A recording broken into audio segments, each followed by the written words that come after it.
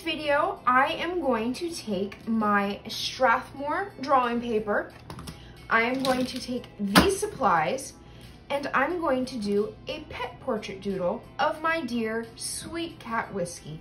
Uh, a couple weeks ago, I uploaded two videos on my channel. I will link them below. They were of pet portraits that were commissioned from me, a dog and a cat. I absolutely loved the way they turned out, so I wanted to do one for myself.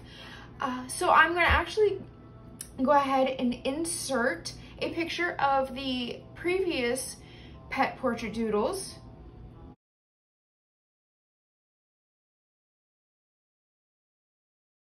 So as you can see, they're just absolutely lovely and I want to have them for myself. So if you like this video, before we get started, give me a thumbs up. Uh, subscribe if you're not subscribed. I release videos Monday, Wednesday, and Friday. You want to click the bell so you don't miss any of those. So let's go ahead and switch over to my time-lapse view and we'll get doodling. Welcome to my time-lapse view. This is what we're working on today. As you can see, I have already gotten the internal doodling part done. So let me go over what I used to get to this process.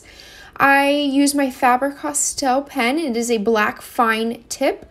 I use that for the outlining like I do for most of my doodles. It is my favorite. Love using it. Faber-Castell, highly recommended. For the shading, I used a Sharpie pen in fine point black.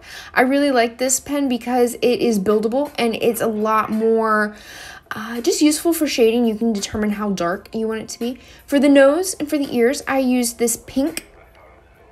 And for her beard and the other white highlights, I used a Gelly Roll in 8 point. It's your classic Gelly Roll. If you were in high school in the late 80s or early 2000s, you know exactly what I'm talking about.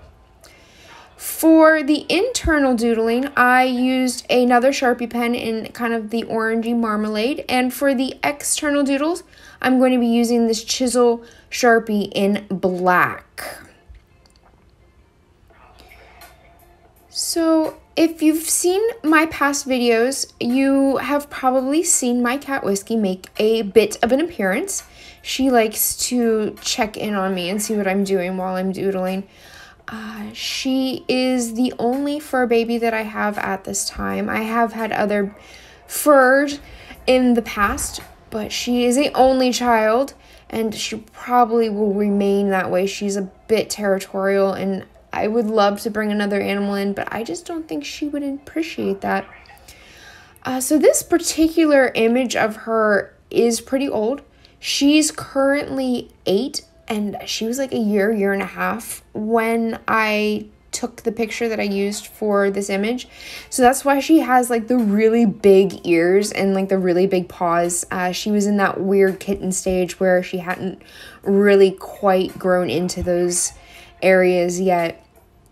Uh, she was sitting on my counter in my old apartment when I took this picture. I, she was taking a little cat nap and just the way she was lounging and the look on her face, it kind of had like this sphinxy pinup look to it, and she just looked so regal and grand. I had to take a picture, and when I was trying to choose the image for this pet portrait, I chose this one. is not necessarily my favorite, but just because of how her body is positioned and how just straightforward her face is. I thought it would be a really good image to use, and I was correct. Um, so I honestly don't know what I was telling you right there where I was pointing to things. Uh, I recorded this video a while ago. And actually, I don't know if you noticed, but in the introduction to this video, I have a tattoo on my left inner wrist, which I do not actually have in this video. Uh, so that's how long ago uh, I've had this tattoo for a few weeks now. So I don't know what I was saying. That's what I'm saying right now. Anyway, back to the pet portraits, back to the issue at hand. I love doing these. I have an Etsy account where I sell my doodles, and this is something that I definitely want to put on there as an option for people to send in pictures so I can doodle their pets because, you know, we all love our fur babies and we want to idolize them in a cool manner and well, doodling's cool. So there you go. So I actually sorry, train of thought going by. Uh, you will have noticed if you've watched several of my videos that the type of doodling, whether they be circular, or square, kind of differs. Um, I have actually said in the past that I was not really happy with the types of doodles. Like, you guys would never know, but you know, I see it and I'm like, ugh, that's not what I like. This one I really like. It's just a really perfect combination of circles and squares for me. It has just a really nice flow. I was very happy with it. I actually already have Miss Whiskey's doodle framed.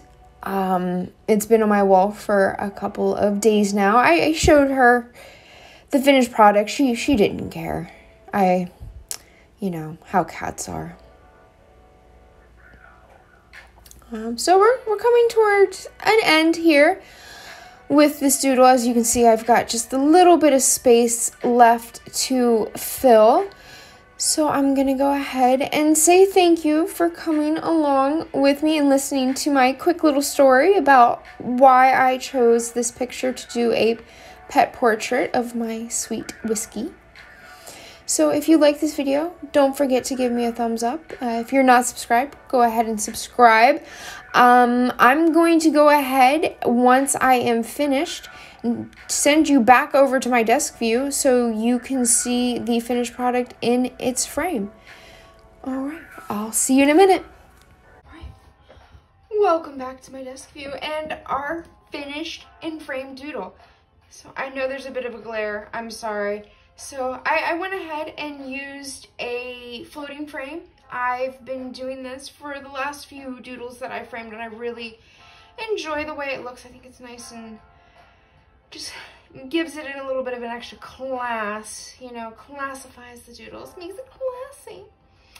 Anyway, so here we go. This is all. Just wanted to show you nice framed doodle of my dear cat whiskey. Thank you again for watching my video, and I will see you next time. Later.